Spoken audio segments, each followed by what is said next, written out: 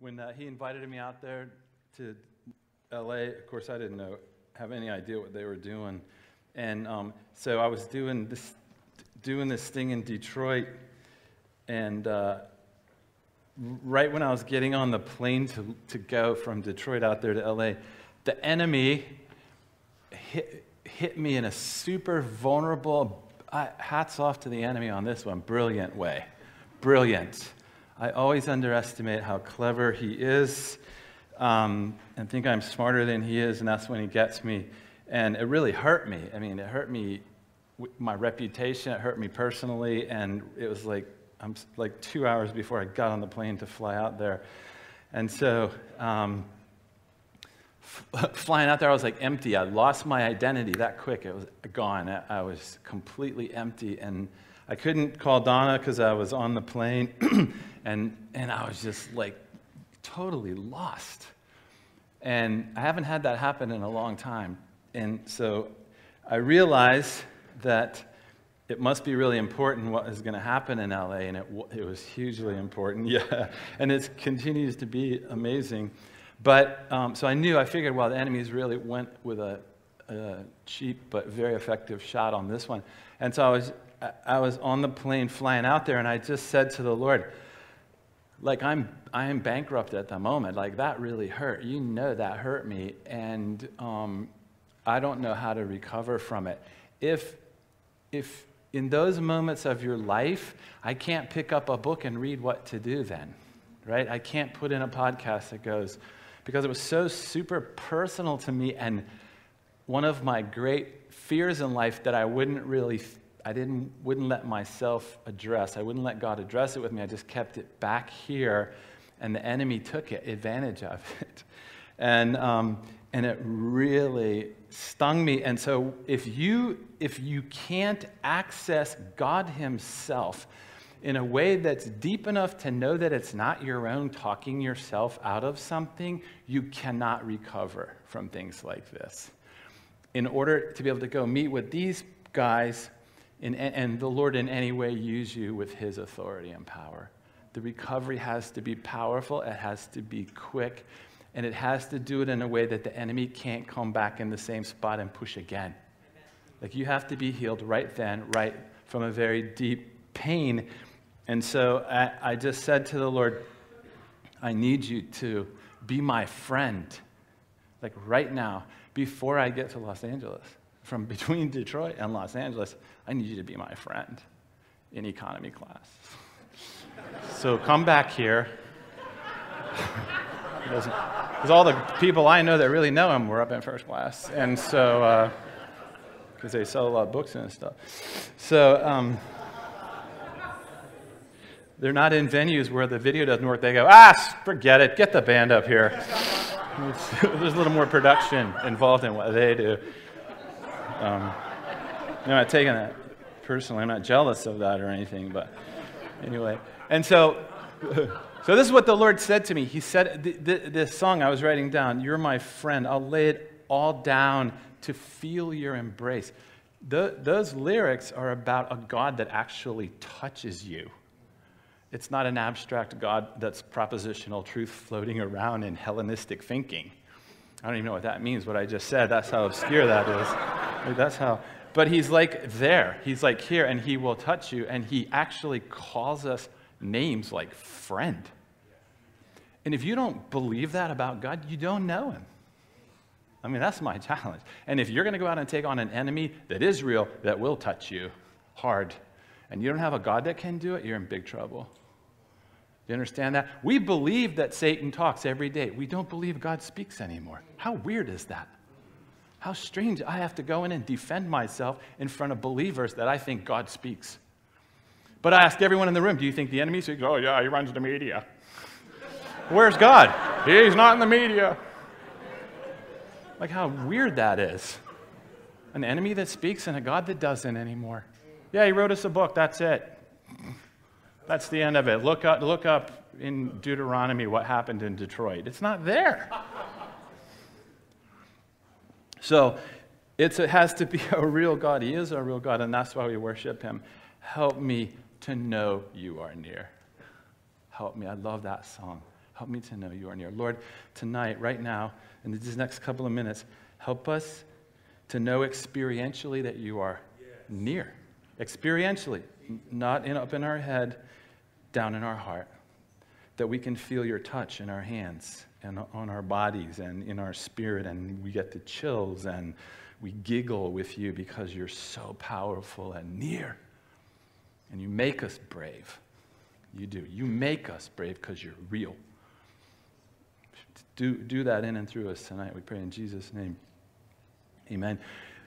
So, so last night, um, we were just talking about this process this process that we see all through Scripture, and I'm just picking, I just picked out Gideon because a little bit quicker and it covers a, a lot of territory in a short amount of time. But you can, go, you can start with Adam and Eve and go all the way through the Bible, and you'll see this process over and over again in all different cultures, at all different times, in all different circumstances to show you that the truth of this is supracultural. It doesn't exist in a particular time and place with people, it goes across all of it. This God of history and so, looking at Gideon, so Gideon and the people of Israel find themselves in a complicated situation. And, you know, like I was saying last night, if you look down into it carefully, what the enemy is doing is attacking the people of God in Israel through their identities in the Judges. It's all uh, the same thing all through Scripture, but in Judges, you can see seven distinct attacks against seven distinct identities of a culture. And, it, and if the enemy is able to disarm or disable one identity in this room, one identity group in this room, the whole room becomes ineffective. We so do not believe this to be true that we think if we have one superhero, it'll work one famous person, it'll work. It will not. It will not work. Your weakest muscle is the most important place. It's where you have to work. And so, and so the enemy is attacking. and the first one, he attacks the prophetic people, and then it goes down through the exhorters and the mercy people. If your country loses the identity of mercy among its population, you become a bitter country a self protective country that doesn't care anymore about the rest of the world because your mercy people have gone silent because we despise them. Oh, you want to help everyone? Oh my gosh. Once you start talking like that, you have lost the ability to win. At any of those identities, that's why Paul's saying it's one body, every part has to work all the time. Stop elevating one part over another. Stop doing it. But I don't know what we think, like, is that just a nice talk? It's reality, and because we don't believe it, the enemy just keeps hurting us in it. And civilizations come and they fail. And they come and they fail. And we're like, yeah, well, it's just the way it is. It's, it doesn't have to be that way. It does not have to be that way. And we're drifting right into it again here we go. So, in Judges, in the Word, we have examples of here's what happened. Learn what happened. Learn what to do correctly. Learn what to avoid. Learn, learn, learn. And then apply it in a new and fresh way in your own chapter of this story. Advancing your young generations forward, like here's, a, here's what we learned in all of our failure and success. Here's what we learned. We're giving it to you. Do it better and faster than we did, please. God, do it better and faster than we did it. The, what me and Donna and our team were able to accomplish in our first 10 years on the field took the guys that taught us 20 years to figure out. But they taught us what they learned in 20 years, and we could do it in 10. And we taught it to people that could do what we could do in five years. And then they could do more than that. And they do. That's, that's what discipleship is all about. Better than the person who discipled you, greater. Not the same as. That's not, you're not advancing. It's like I told you everything I know, do it better. Our, our own kids do everything better than me and Donna ever did. And I'm super proud of that because you, I can't teach them how to do it better. I can only teach them what I know. And they figured out how to do it better with the Lord like that. And they, off they go.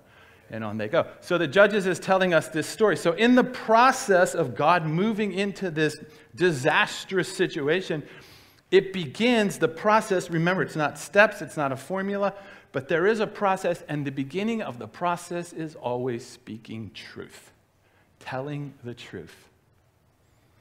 You have to speak truth, or the God of all truth isn't involved. You have to pray in truth. I'm talking to believers. Lost people, I mean, it's so funny how we view lost people. It's like they're like so lost. Like they say dumb things. It's like they don't know what's going on. Why do they do that? They're lost.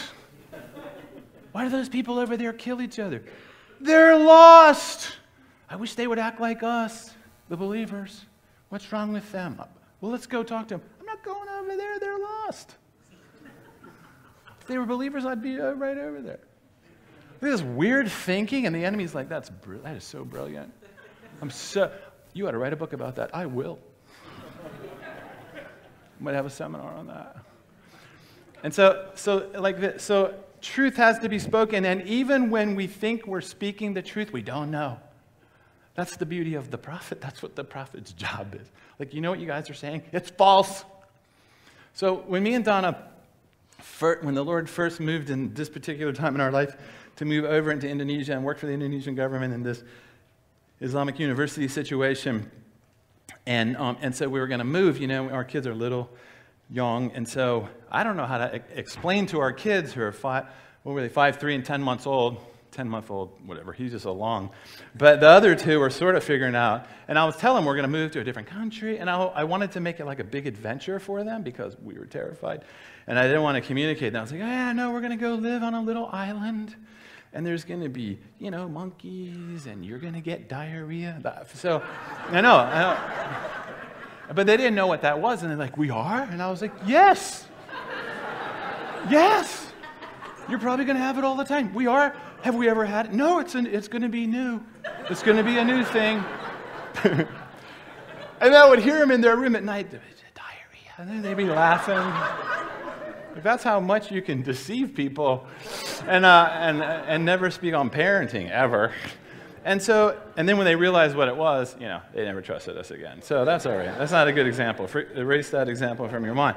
But when we got, so we got over there and we start living there, and so we want to be able to communicate, obviously, to the people all of our wisdom. And so, you know, you learn in the language and all that stuff. And so we lived in this terrible, little, awful house. And um, they, were, our kids were like, look, a doggy. And I was like, no, that's a rat. Then, uh, you know, and there's a lot of them. Look, they've had puppies. Yep. right, right there in the couch. Good. and we have diarrhea. Great. It's going just like we hoped. And so, so so this place where we lived didn't have screens, you know, in the windows, and it was like, I don't know why they don't have screens, but so I said to Don, I said, Don Donna's like, we got to get screens, like, like we're gonna die here. Um, and I said, so I said, okay, I'm gonna go tell, talk to the landlord about screens.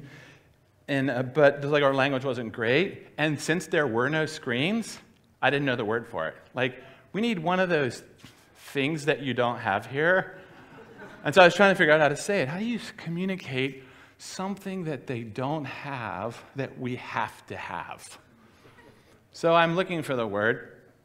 I don't ever actually, I, to this day, I don't actually know the word. It's the, so you just kind of speak with an accent and say the word in English, you know? Scream. I don't know, what is that? Is that, is that a word? I don't know. Is it really? You know, a screen. So, so I, so I go over there, but screen wasn't the problem, the word problem. I like thought that would be the problem. The word problem was the word for mosquito, which is nyamuk, nyamuk, nyamuk, nyamuk. And so you have to memorize the sentences because you're not fluent. Nyamuk, okay. Minta. Like, okay, we need, we have a mosquito problem. Problem is masala, masala nyamuk, a problem with mosquito. And so I'm practicing this, walking over to this Muslim guy, landlord in this completely Muslim Sundanese area. And, you know, you don't want to make a mistake and look stupid. And so I'm, i sit down with him, you know, we're drinking tea. And they're, they're very indirect. And so finally I get to it, okay. But I've kind of lost track of the words in my mind. And so instead of saying nyamuk, mosquito, I say monyet, monkey. Monyet. It's a little mistake. It's not that big of a deal. So I say to the guy, hey, uh, listen, he's like, how's the house? Oh, it's amazing. So I love the little dogs that live there. and uh, he says, I've never lived in a place like this. And he's like, yeah, good. And uh, I said, uh, I have, do have a request, though. We need these things, screens. We need these things in the window. and he's like, what is, I don't know. So we're speaking in Indonesian, like, what is, I don't know what that is. And I said, yeah, it's like a, a thing you put up in the window. And he said, well, like, what's that for? And I said, you know, to keep monkeys out of your house. like, we live in right in the middle of the city. And he's like, he's like, and like, I, you know, in my mind, I was, I, I was like, wow, I said that so, I was so well. He's like dumbfounded. He didn't think I'd ever figure out how to come talk to him, challenge him on this thing. And he goes, he goes, oh, you, are you having a problem with monkeys over at your house? I'm like, are you, do you not have them at your house?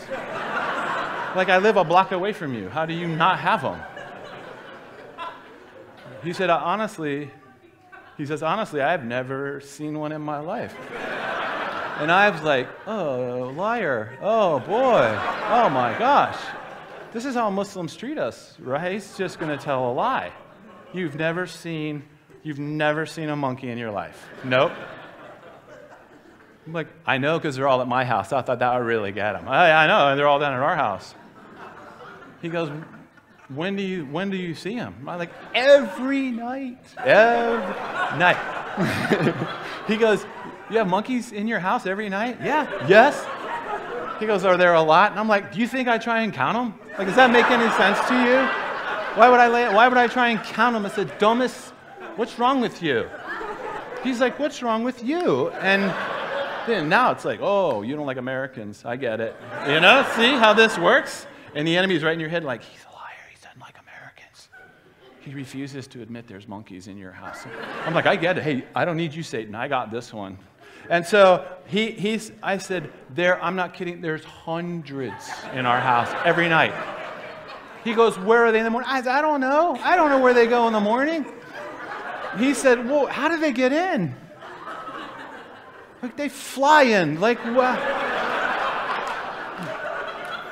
And he's like, They fly in every night in the hundreds? Yes. He goes, well, what do they do? They bite us. Like, look. I'm like, right there. He's like, that's a monkey bite? I'm like, what do you think it is?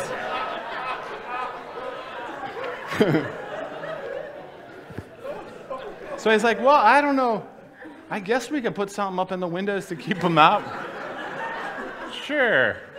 I'm like, all right, a little victory here. So I leave. That's settled. I'm proud of my language ability. Super confident that went well. And I tell Donna, yep, not another monkey in our house. And she's like, monkey? What are you talking about? And I'm like, oh, brother, here we go. Here we go. oh my gosh. The enemy's now working between me and Donna. It's unbelievable. And she goes, you're, you're saying, you're not saying mosquito, you're saying monkey. I'm like, oh my God. And then I review, oh my God. I have sealed my reputation forever. This guy is never going to listen to me again. And I was just ever, too embarrassed ever to go back.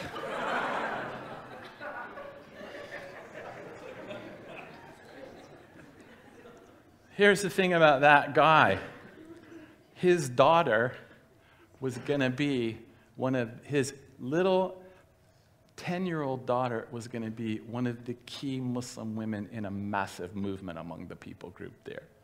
His daughter. And that, what I did with him, because I was so sure I was right, I was so positive I was right in everything that I was saying to him, even though he was challenging me on it, I didn't know that I was wrong. And I didn't even know to ask that I might be wrong because I was so sure I was right.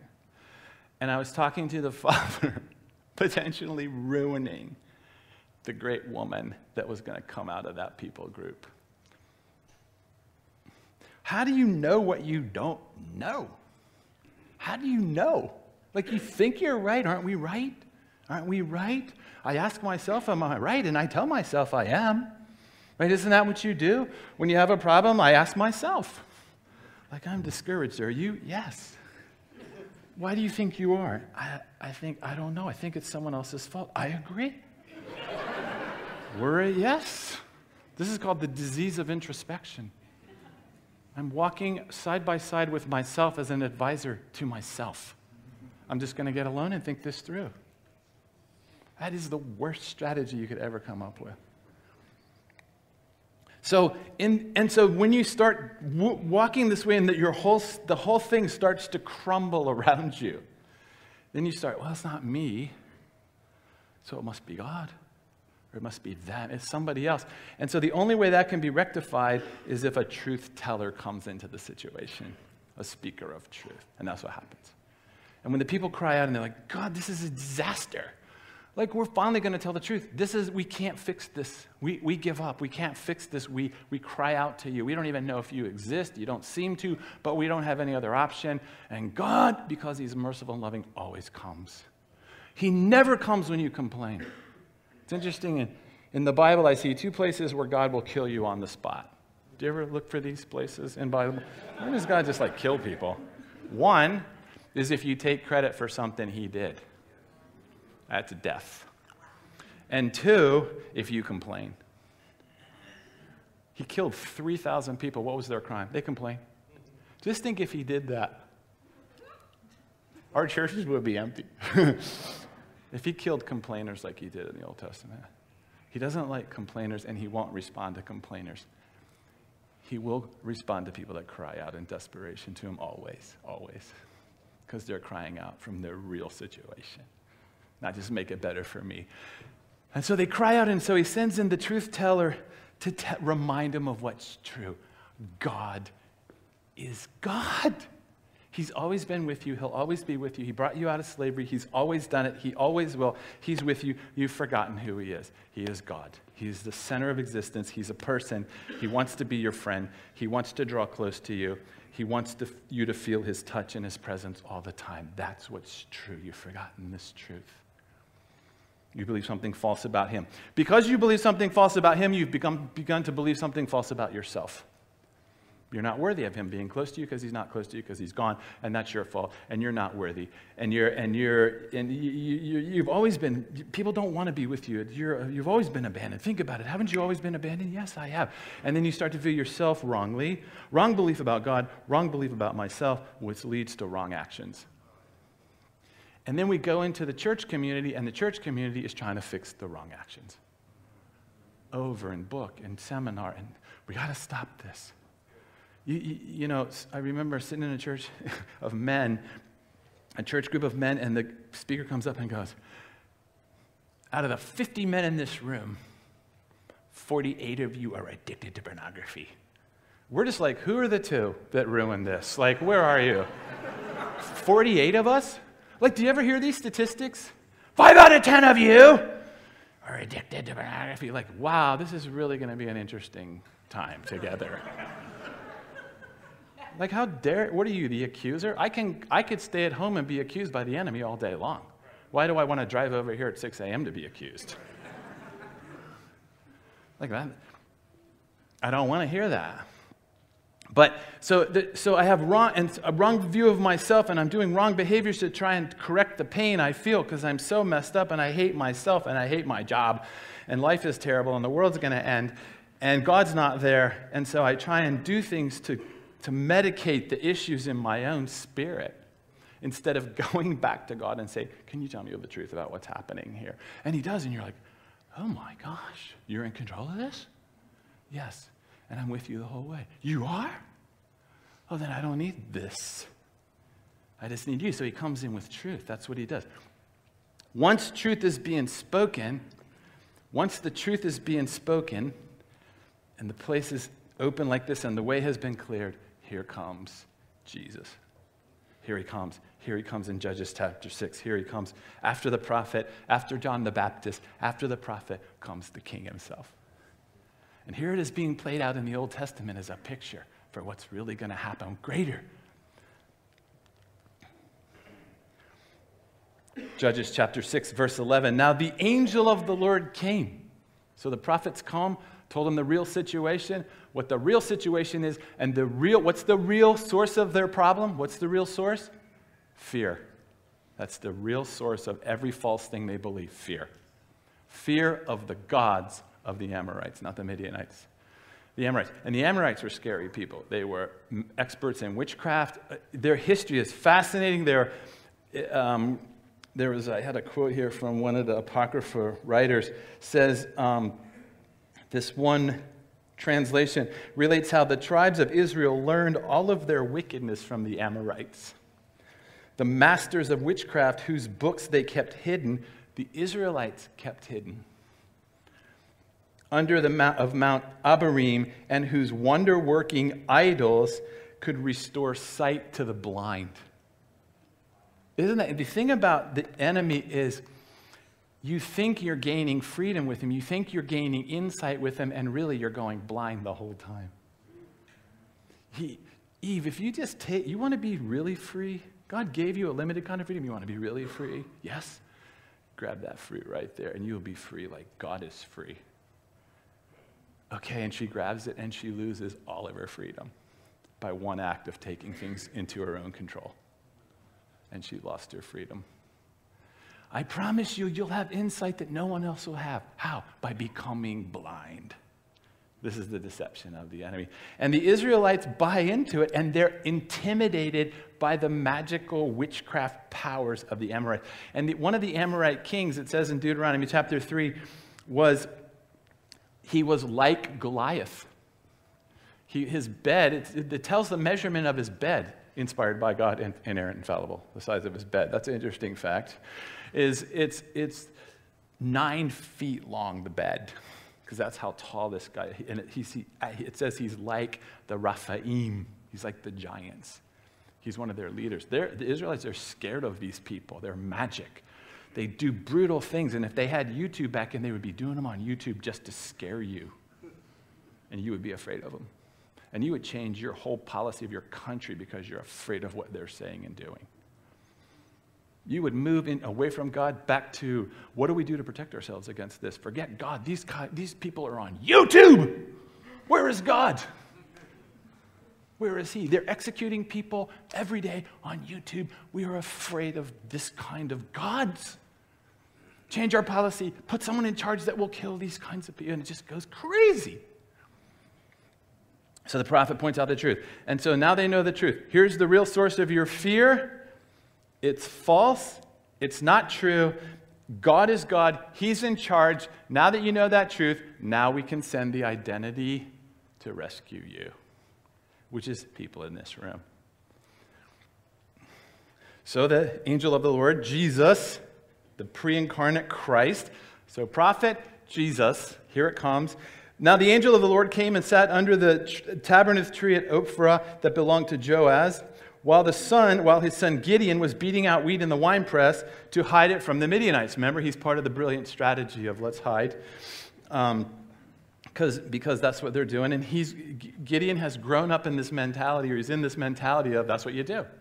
Does anyone break this mentality? No, it's what we all do. So it's normal, and that's what, what, smart people do. If you were really a good steward, if you were really a good steward of the things that God gave you, you would bury it in a cave and hide it from the Midianites. That's what good stewards would do. You wouldn't risk it out here.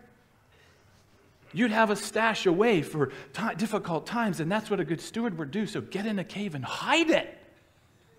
Smart. And they had a seminar on how to do that and stuff like, like that. And so that's what he's doing. Who's going to tell him not to do that? Who's going to tell him different? In his whole culture, who's going to say this is a bad idea? Nobody. Nobody. Until the prophet comes. like, you know, you guys are really, you know, you know why you're losing? Because you're afraid of the evil out there that can't hurt you. But you think it can, so God can't protect you, so you got to do it. So that's what he's doing. Why not? And the angel of the Lord appeared to him and said to him, Here it is, the beautiful passage The Lord is with you, O mighty man of valor. I, I like how, when, let's just think of this as Jesus, it's a visible um, appearance of God, is Jesus. So Jesus comes to where he's hiding. He loves to walk right into our hiding places. He does it with the disciples, you know. So after the resurrection, after the resurrection, They're like, Yay, Jesus is alive. Jesus is alive. What shall we do? Let's hide in a locked room. That's their strategy. The, the first church service. Let's hide in a locked room from the rest of the world. Who are you afraid of? The Jews. Why? Because they can kill us. Okay, they just killed Jesus and he's back. Like apparently that he's stronger than that. Why are you why are you afraid of the Jews when he just had the victory over death itself? What are you doing? So, but Jesus doesn't stand outside going, Hey, you cowards, come out here. He doesn't do that. You chickens that ran away the whole time I was there, you're running away. Oh my gosh. I'm going to give. He doesn't do that. He walks right inside of their fear. He, if you will say your fear, he will walk right inside of it. Right through your little lock. You don't even have to open the door. Lord, I'm in here in my fear. I can come right through the door. Come on, here I come. He just walks right through every barrier, everything you've put up to keep bad things out that's kept you trapped inside so you'll never do anything. The enemy's like, he's done. And the, Jesus walks right through it into their, hi, look. And they're like, now, now they're afraid of him. Like, are you afraid of the Jews anymore? They didn't walk through our door. He did. We're scared of him. Now, this is always how the disciples are, you know. We're afraid of that storm. Be quiet, storm. Now we're afraid of you. You know? this is where are we going to put our fear? That's what we that's all we want. And so Jesus comes in there and there and he's like, look. Looking, you know, and he's the unwounded one. He's look at look, look, look, look. Isn't this amazing? This is incredible. Doesn't blame him. It's not like, where were you when this was happening? He doesn't say that to him. He doesn't, it's gone. Look, they wounded me. I'm unwounded. I'm here. I died for you. And let's go forth now. Here we go. Okay? I'll be back. I'll be back. Let's go. You don't have to hide. Okay, I'll be back. He leaves. Seven days later, where are they? Locked in the room again. They made it out seven days, but then they went back and locked the door again. And Thomas is like, I'm not going out there unless I see him myself. Boom, here he is again. Hi. How many times will he do this? As many times as you ask him. How many times will he come in your deepest fear? Every time you ask him. He doesn't keep a list of it. Oh, right here. Call me. I'm here. Let's go. What do you need? I need to touch you. Touch me. Draw near to me. Come on, touch, touch, touch. Ready? Let's go. Here we go. Here we go. Here we go. I love that about the Lord. Every time, all the time, over and over and over again. How many times? Seven times? Oh, no. Infinite, infinite. Why are we afraid to do this with him? Why are we afraid to say, Lord, oh, I really fell down on this one? I, have got all these barriers up because I'm afraid. Now, can you come? Hello, hi, I'm here. Here I am. Remember, I died for you. See, look, it's all done. You don't have to be afraid of death. Ready? Here we go. Here we go. Here we go. You know how many times he would say he just burst into that room? The first time. Every time. First time. Uh, weren't you here yesterday? Was I? I? No, I don't remember that. Isn't this the first time that I'm doing with you? Because he separates our sin as far as the east is from the west and remembers that no more. Every time is the first time with him. I love that. It's like, Lord, remember I did this last week? Nope, here I am. Here we go. First time, let's go. Everyone gets a first time. 8,000 times you get the first time. That's such a relief to me. He's going to think it's the first time. Ask him, I'm telling you.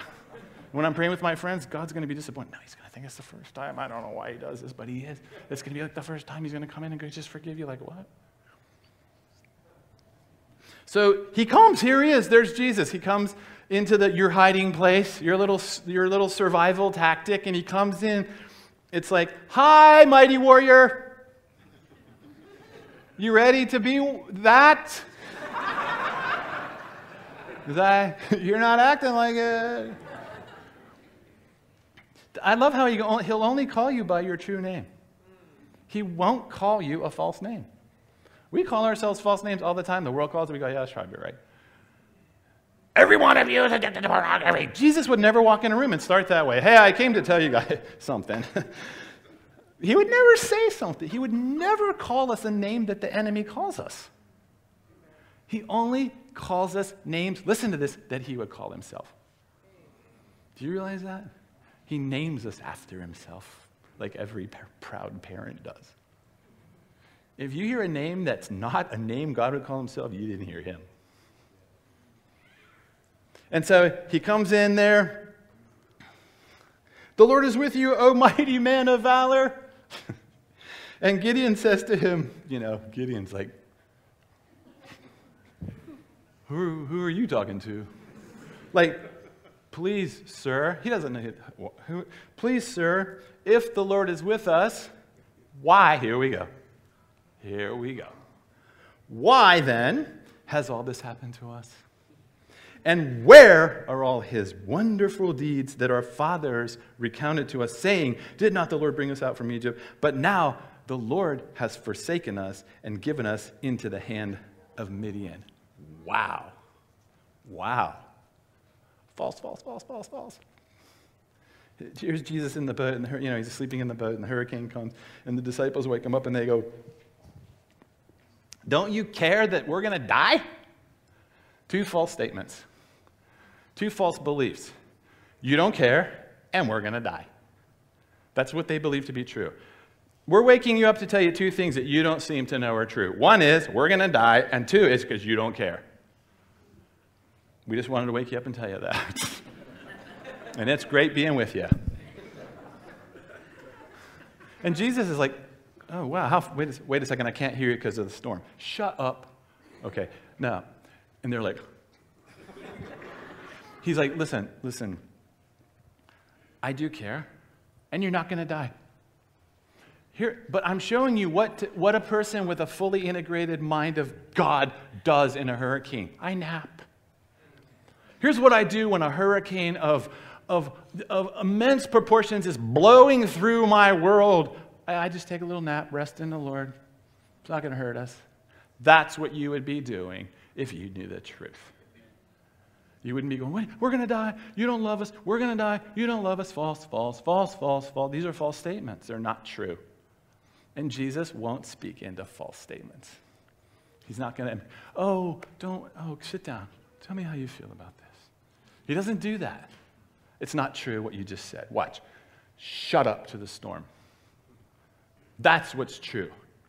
And I do care about you. And that's what's true. Stop acting like none of this is true.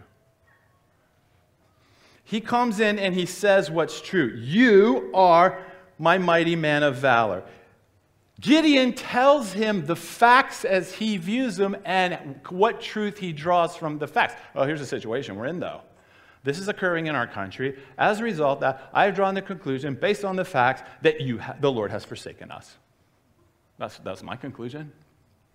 And, his, and, and, uh, well, look what the Lord says. And the Lord turned to him and said, I love, uh, here's, here's, here's, here's Gideon's questions. Why, why, why, why, why, why, why, why, why, why?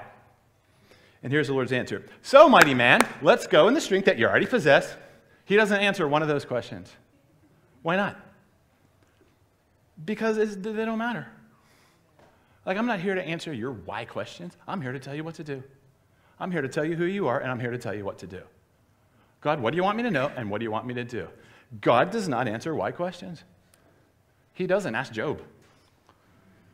Ask Job. But when you say to God, Lord, this is the situation I find myself in, what do you want me to know about this situation? What's true about this situation? He'll tell you every time. And then, what do you want me to do? He'll tell you every time. Because obedience is better than sacrifice. How are you going to obey if you don't know what to do?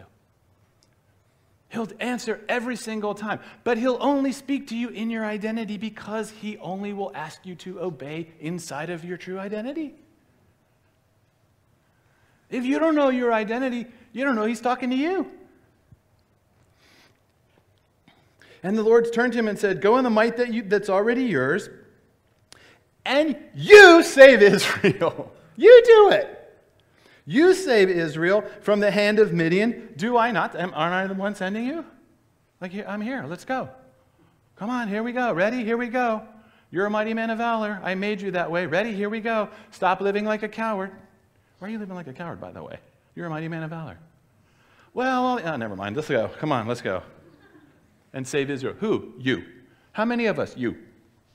I know, but who else? You. You. One of you. You. Who in this room? Do you, do you understand what this means? One of us in this room can rescue the United States of America if we move in our own ident- true identity with God. One of us can do it. We do not believe that stuff. We do not believe that. Boy, what if we did? What if I actually thought, hey, I think God's actually calling me kind of to lead the whole country? What if we did believe that? That God would talk to us like, draw near to me, Lord. Okay, lead the country. Go away from me, Lord. I feel so distant from you because I'm not going to do that. This is, the, this is the duplicity in our relationship with God. We, it's, it's such a waste of time. Why? It's not fun. We think we're saying something to God, and He's looking at us. You, do you, know, you don't even know what you're saying, do you? You think you're asking me for protection from something, and you don't even know what you're saying to me. And what you're saying is wrong. Ask me what I want you to know, and ask me what I want you to do. And I am happily tell you, and I will send you, and I will even go with you to do it. Isn't that amazing? Wouldn't that be exciting? And the Lord turned to him and said, Go in this might of yours and save Israel from the hand of Midian. Do I not send you? And he said to him, Gideon says, Please, Lord, how can I save Israel? All right, here's a better question. At least he's participating now. How can I save Israel? Behold, my clan is the weakest in Manasseh, and I am the least in my father's house. True and true, but unimportant and unimportant. Not how we decide things. Yeah, but my family's tiny. I know. I already knew that before I got here. What's the point of that statement? We're a little family. I know. Well, so what? Do you use little families? I'm an only child. Oh, okay. All right. All right. That's your. Uh, and we're weak. I know. That, that's why I'm here. Do you get that? Because where you're weak, like I'm really strong. Here's the beautiful truth statement I'm weak. Yes, you are. Yes, beautiful. That's why I'm. I don't show up when you think you can do it. Ever. And guess what? You fail. But when you look at me and say, wow, we're just a little people and we're weak, but can we walk in our true identity and do this? Oh, yes, oh, yes, because I will go with you on that one. Yeah. But I will be with you, and you will strike the Midianites this is the most amazing thing he says to Gideon. You will strike the Midianites as one man. What a statement. Gideon has no idea what that means. He's like, You mean I'm going to go out by myself? Yes. Alone? No. But me? Yes. As one man? Yes. But you will fight with many as one person, unified as one. And you will all be of the same mind and one accord. And when you are moving the same mind as one accord and you move as